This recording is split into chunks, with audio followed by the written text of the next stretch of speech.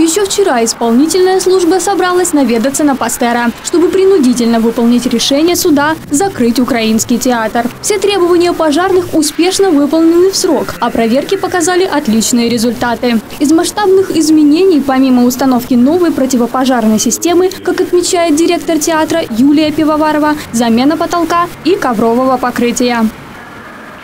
Час на виправлення е, дається півроку, але ну всі розуміють, і ті, хто пишуть ті приписи, вони ж розумні, теж так само люди.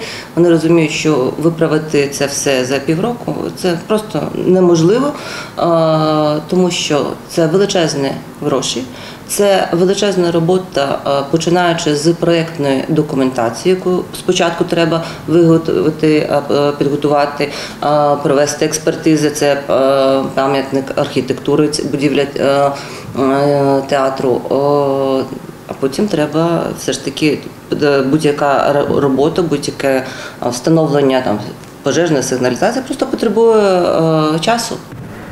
Проведение ремонтных работ стало непростой задачей, ведь любые изменения можно осуществить только летом, когда театр на каникулах. Чтобы выполнить все предписания пожарных, руководством было принято решение провести обязательную реставрацию после рабочего дня. Выдержать такой график было непросто, рассказывает руководитель театра. В первой половине дня проводились репетиции и иногда даже спектакли, а ночью сотрудники были вынуждены менять кресла и ковровые дорожки, чтобы как можно быстрее выполнить все необходимые требования. Вчора ми отримали так званий нульовий акт, акт в якому ДСНС визначило, що всі е, е, їхні вимоги, які до нас були, е, вони виконані. І, ну, скажімо так, я дуже щаслива, що врешті-решт е, український театр е, безпечний е, з точки зору пожежної безпеки. Дай Боже, щоб нам ніколи не довелося скористатися цими всіми моментами, всіми всіми системами, які в нас є вже, вже є в наявності. Але це все є. Ну я думаю, що ну такий взірець пожежної безпеки в Україні. Ну приходьте, можете подивитись.